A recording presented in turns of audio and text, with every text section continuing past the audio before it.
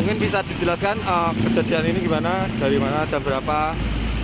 Untuk diduga kendaraan truk dari arah Salib Putih menuju ke Salatiga.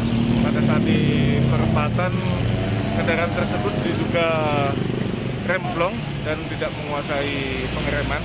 Oleh karena itu dia banting ke kanan, sudah ada bekasnya. Kemudian untuk meminimalisir korban dia buang ke kanan, kemudian kendaraan tersebut jatuh sehingga apa namanya truk terguling. Oh. korban nihil luka ringan satu. Uh, sekarang dibawa ke rumah sakit. Ya di RSUD untuk kondisi sadar tidak ada Uh, penumpangnya ada berapa itu? Untuk dua. Dua Saya orang. Informasi yang kami dapat dua. Uh, terus uh, kejadian itu jam berapa? Itu kejadian kurang lebih pukul 12.30 Uh, siang. uh, terus mungkin uh, muatannya muatan apa? Untuk muatan makanan ikan masih kita evakuasi sampai saat ini.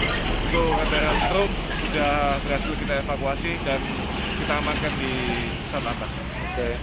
Untuk himbauan kepada pengemudi kendaraan pada saat sebelum berkendara agar dicek kondisi kendaraan tersebut apakah layak jalan atau tidak sehingga meminimalisir kejadian laka lantas di jalan.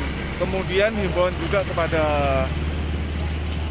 pengemudi kendaraan truk dan angkutan barang agar mengecek kendaraannya serta tonasenya apakah sesuai mampu atau tidak kendaraan tersebut untuk layak jalannya. Jangan sampai muatan 8 ton diisi 10 ton atau lebih sehingga membahayakan pengendara tersebut maupun pengendara jalan yang lainnya. Kemudian terkait dengan overdimensi karena itu ada kaitannya dengan blank spot, jangan sampai ada penambahan kendaraan, dimensi kendaraan sehingga mempengaruhi laka lantas. Demikian, terima Oh. kasih.